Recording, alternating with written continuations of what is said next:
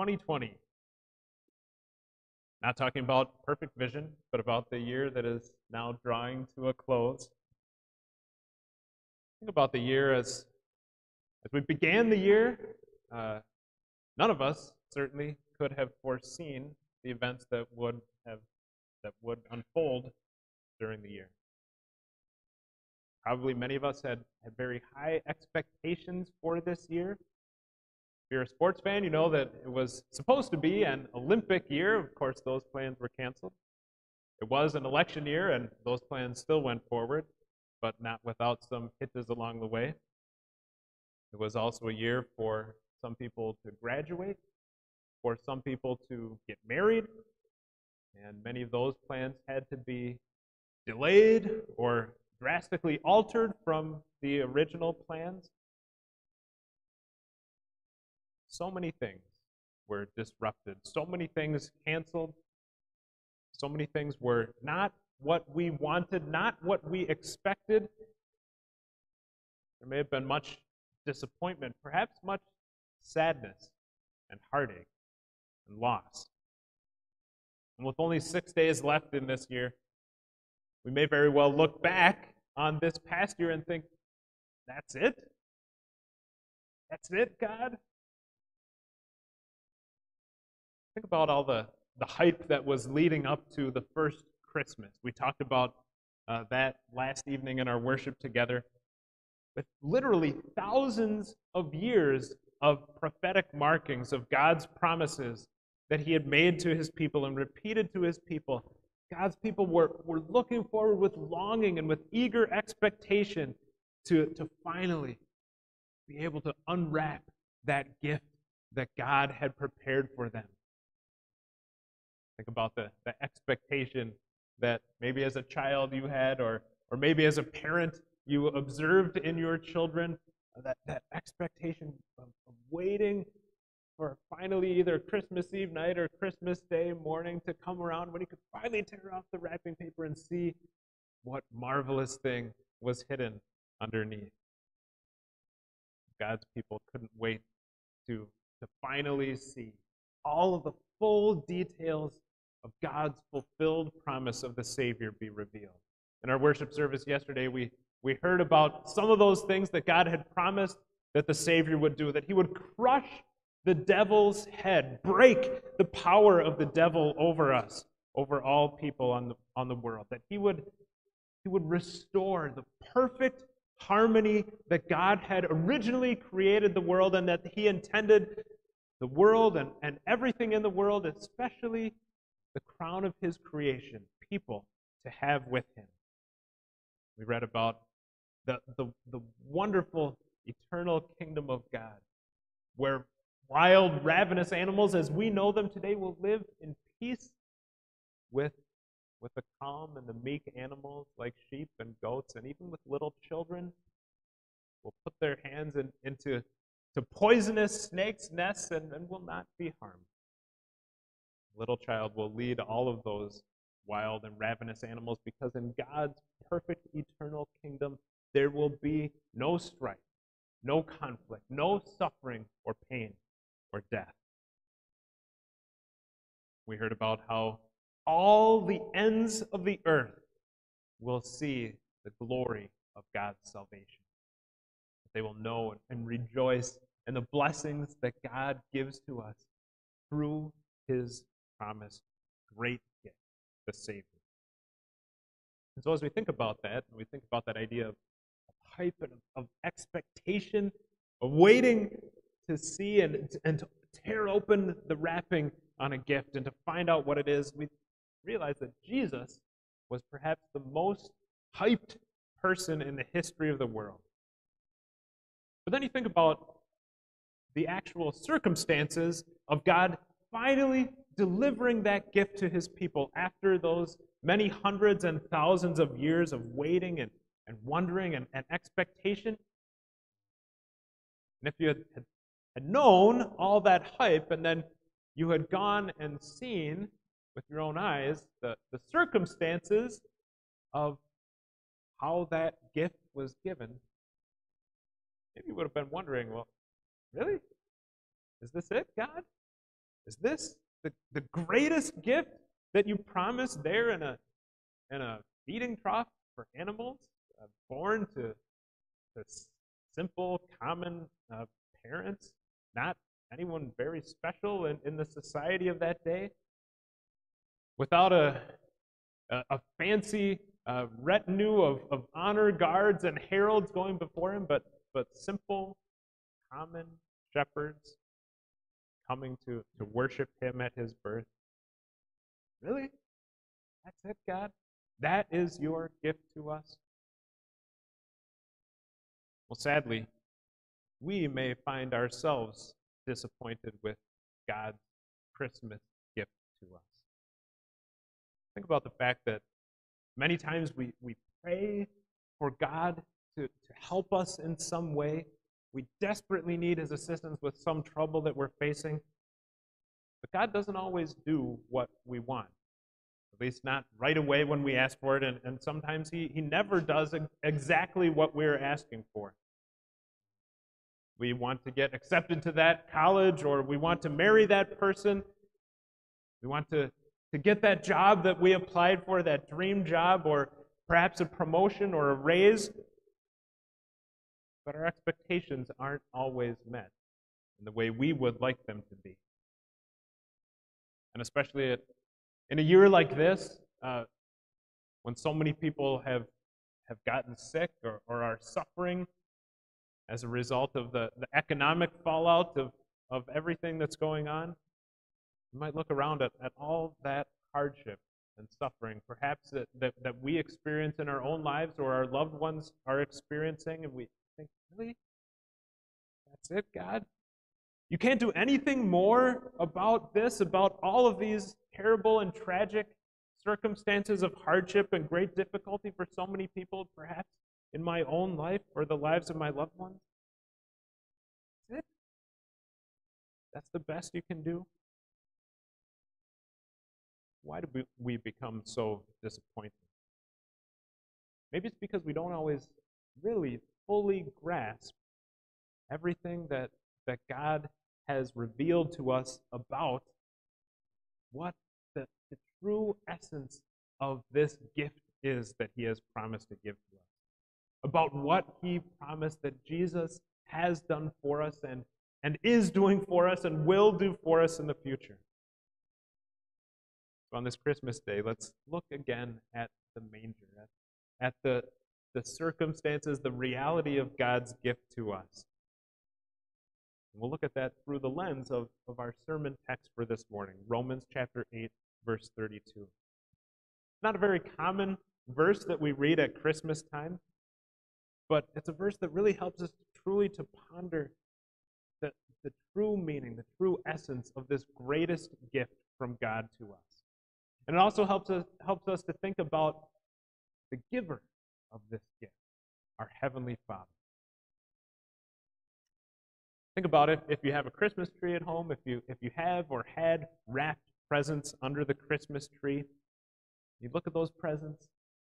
Uh, do you simply see that, that them as, as the object that they are, just, just a wrapped gift, uh, nothing more than that? Or, or do you see the love, the care behind that gift that, that someone took to prepare and to give that gift to you? Often more than just the, the simple fact of the gift itself, what that gift is, is what we see behind the gift, that love of, of, of someone who has given the gift for us. Maybe think especially about, uh, about handmade or homemade gifts, maybe that, that children make to give to, to parents or, or other relatives or friends. That gift that, that shows that they, they put time and effort into to creating something themselves. Not just, perhaps if, if you, as, as an adult, also make a, a homemade gift. The time that it took, the, the labor and the care and, and the attention to detail to prepare that gift that you crafted for someone else. Or maybe it, it is spending money. Sometimes people spend a lot of money on a gift because if it's someone that they love and care about, Money is, is no object. They just simply want to show their love and, and to bring joy into another person's life. And they, they, they're not worried about the cost. Now think about that gift that God gave to you, to all of us in the manger. It's not just a, a, a simple baby there in the manger. He was giving you his own son. More than that, he was giving up his son. Giving up his son to death for you. As our verse reads, Romans 8:32. He who did not spare his own son, who did not spare the life of his own son, but gave him up for us all. Gave him up to death for us all. Think about that. That baby in the manger was God's son from all eternity. Think of everything that, that God, the, the Father, Son, and Holy Spirit experienced together. All of the events of, of the history of, of our world as we know it, and so many other things that we don't even know about that only God knows. God's work, the, the Holy Trinity, Father, Son, and Holy Spirit, of creating the world together by God's own powerful word out of nothing, creating the whole universe it's in all its vast array and detail all the, the living beings on the earth with, with all the detail and, and marvelous perfection of our bodies. About all the, the events in, in which God interacted with his people throughout the history of the world. God delivering his people through the, the great flood of Noah's time. God coming to Abraham and choosing him to be the father of God's chosen people, the people of Israel, and giving to Abraham the promise that the Savior would come from his descendants. Father, Son, and Holy Spirit, working together to rescue God's people from slavery in Egypt. Together, receiving the, the glory of psalm writers like David, those who sang those psalms of praise to God in the temple that Solomon built and dedicated for God in Jerusalem for God's worship. With all of those shared experiences, Father, Son, and Holy Spirit, imagine how close the Father and Son were from all eternity. That close and loving personal relationship. And yet, the Father was willing to give up his own Son for sinners like you and me. Those of you who are, are parents or who have dear nieces and nephews, think about the love that you have for your children or for your nieces and nephews.